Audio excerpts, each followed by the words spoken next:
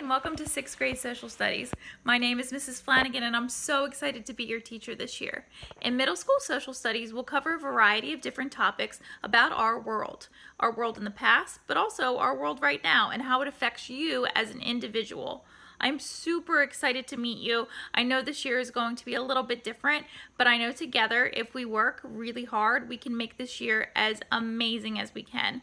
And you are going to love learning about all the different things that makes our world pretty cool. I can't wait to see you soon.